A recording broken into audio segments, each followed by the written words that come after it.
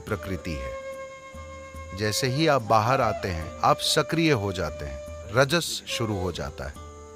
अगर आप पर्याप्त जागरूक हुए या पर्याप्त खुशकिस्मत हुए तो सत्व आपको छुएगा। वरना रजस का रंग ऐसा है कि जब तक सब अच्छा चलता रहता है, वो अच्छा रहता है। जैसे ही बुरा सिलसिला शुरू होता है, रजस बहुत ही ज़्यादा बुरा हो जाता है। तो इन नौ दिनों में सबसे बढ़कर To approach every aspect of life in a celebratory way. This is most important.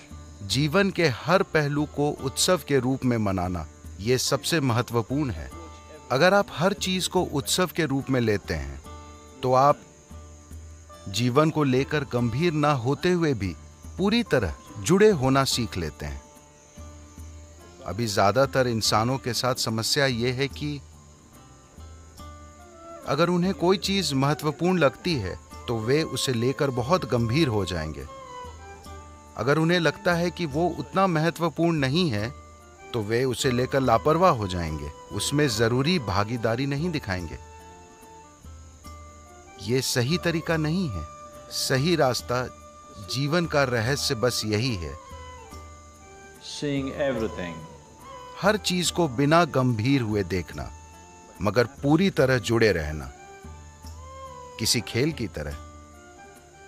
यही वजह है कि जीवन के सबसे गहन पहलुओं का उत्सव मनाया जाता है, ताकि आप उसे चूके नहीं।